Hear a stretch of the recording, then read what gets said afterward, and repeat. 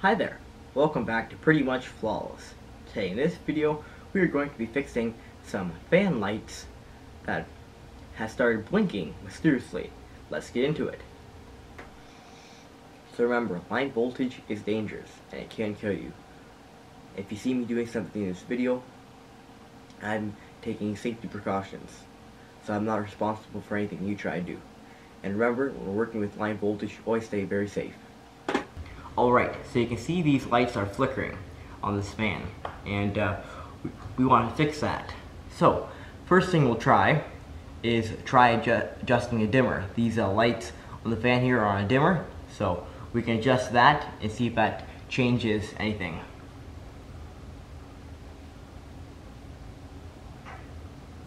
Alright, so you can see when I adjusted the dimmer there, that uh, something changed. There was this one section where it stopped flickering.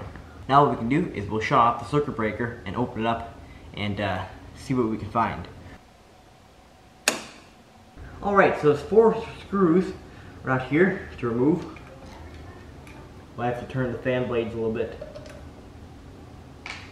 Correction, there's only three screws actually holding this thing on.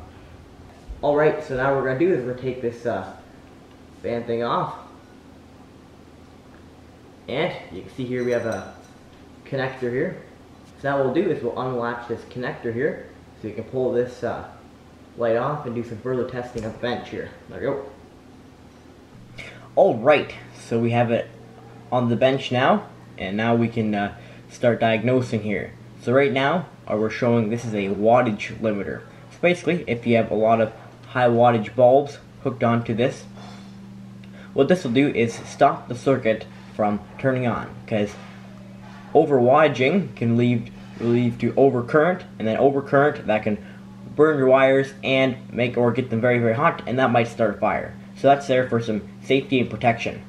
Alright, so what we're doing now is we're taking the Morex off here and we are just going to test just the four light bulbs. So we're going to disconnect the wattage limiter thing and we're going to hook across our wires to the neutral and we're going to hook them to the hot, the all the uh, light bulbs, and then we'll test it and see if it works. Because the light bulbs might need to be replaced, or it's probably just a wattage limiter. Alright, let's power this up. Oh boy, what's going to happen? Is this going to end this spectacular failure? Here we go. Right now I'm powering this from my auto transformer. There'll be a link in the description down below on my video about auto transformers. Alright, here we go. Turning up the voltage very slowly. 10 volts. 20 volts. 30 volts. Well, let's take about 30 volts. So you can see all the um, lights are coming on. These are dim dimmable type lights. Other lights might not be dimmable and this might not work at such a low voltage, but uh, 30 volts. That's good. Kind of a lower voltage compared to 20 vo 120 volts. Yeah, so we know all these LEDs, they don't seem to be flashing. We can increase the power a bit more. Mm 50 volts, 70 volts, 80 volts, 90 volts. So, um, yeah, you can see they aren't flickering. So I'm pretty sure that uh, it's not the light bulbs because all all of them are flashing at the same time. There you go, power off. Unplugged. Disconnected. There you go. Alright, so I'm pretty confident that it's this right here. This is a wattage limiter. And so what we'll do is, as of right now, we will disconnect this from the circuit. So what is this? Pretty much flawless removes the safety feature? Well, let's give some explanation. So, that's for just limiting the wattage. If you have too many high wattage light bulbs hooked onto that, that will basically stop the circuit. So, those are 6 watt bulbs there each one of them. And uh, as far as I'm here, we'll always, if those burn out, we'll just put the exact same 6 watt style bulbs back. And maybe in a future video, we'll try to fix the wattage limiter thing.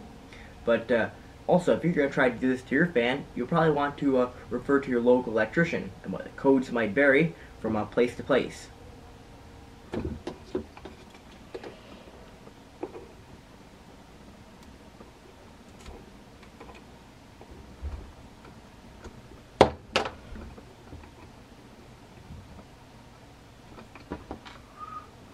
So right now we're just going to take our hot wire from our switch that uh, used to go to the wattage limiter there and we're just going to wire this directly up here.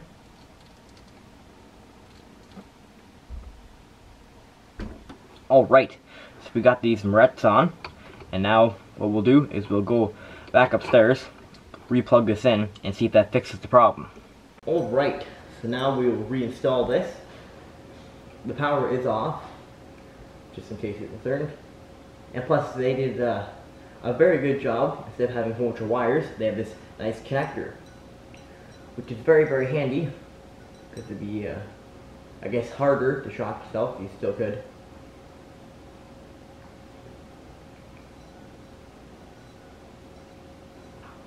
See your push. Kind of hard to do with one hand. Here you go. There we go. Got it.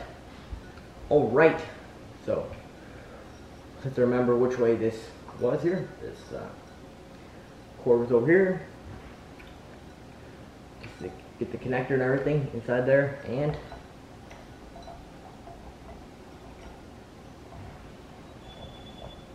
there we go. Alright, now we can try flipping the light switch and see if that fixes the blinking. First we'll have to turn on the breaker. I think that's the blinking fixed. Perfect. So now what we'll do is we'll shut off the power again and then we'll put the, all the screws back in and we'll be good.